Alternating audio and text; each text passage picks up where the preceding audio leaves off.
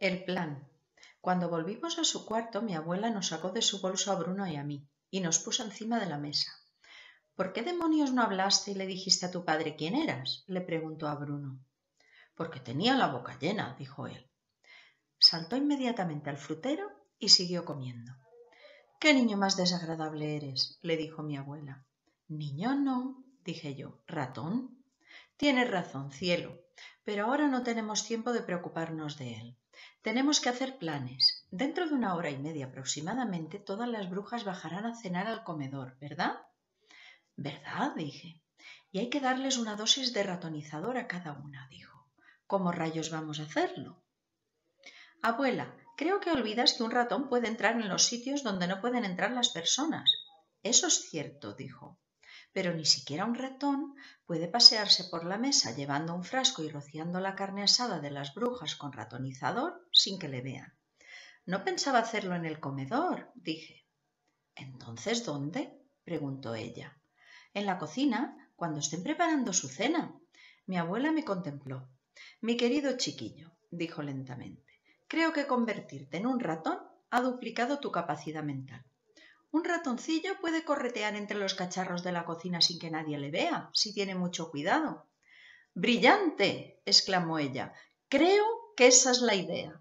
El único problema, dije, es cómo voy a saber qué comida es para ellas. No quiero echarlo en otra olla por equivocación.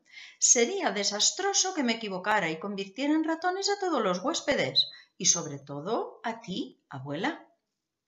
Entonces tendrás que colarte en la cocina, encontrar un buen escondite y esperar.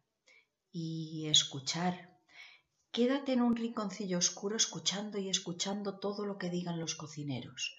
Y con un poco de suerte alguien te dará una pista. Siempre que tienen que cocinar para un grupo grande, preparan su comida por separado. De acuerdo, dije, eso es lo que haré. Me quedaré allí y escucharé, esperando un golpe de suerte. Va a ser muy peligroso, dijo ella. Nadie se alegra de ver a un ratón en una cocina. Si te ven, te aplastarán. No dejaré que me vean. No olvides que llevarás el frasco, dijo ella, y por tanto no podrás ser tan ágil y rápido. Puedo correr bastante rápido sobre las patas traseras, sosteniendo el frasco con las delanteras, dije. Acabo de hacerlo, ¿no recuerdas? Vine todo el camino desde el cuarto de la gran bruja con el frasco. ¿Y desenroscar el tapón? dijo mi abuela. Puede que eso te resulte difícil. Voy a probar, le dije. Cogí el frasquito y utilizando las dos patas delanteras comprobé que podía desenroscar el tapón con facilidad. Estupendo, dijo mi abuela. Realmente eres un ratón listísimo. Miró su reloj otra vez. Son las siete y media, dijo. Voy a bajar a cenar en el comedor llevándote en mi bolso. Te soltaré debajo de la mesa con el frasquito. Y a partir de ahí tendrás que arreglártelas tú solo. Tendrás que atravesar el comedor, sin ser visto, hasta llegar a la puerta de la cocina. Los camareros estarán entrando y saliendo por esa puerta continuamente. Tendrás que elegir el momento oportuno para colarte detrás de uno de ellos, pero, por amor de Dios, ten cuidado de que no te pisen o de que no te aplaste la puerta. Procuraré que no, dije. Y pase lo que pase, no dejes que te cojan. No sigas, abuela, me estás poniendo nervioso. Eres muy valiente, dijo ella, y te quiero mucho. ¿Qué haremos con Bruno? le pregunté. Bruno me miró. Voy con vosotros, dijo con la boca llena de plátano. No me voy a quedar sin cenar. Mi abuela lo pensó un momento.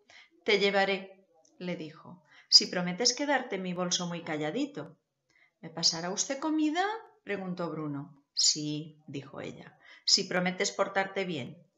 ¿Te gustaría a ti comer algo, cariño? me preguntó.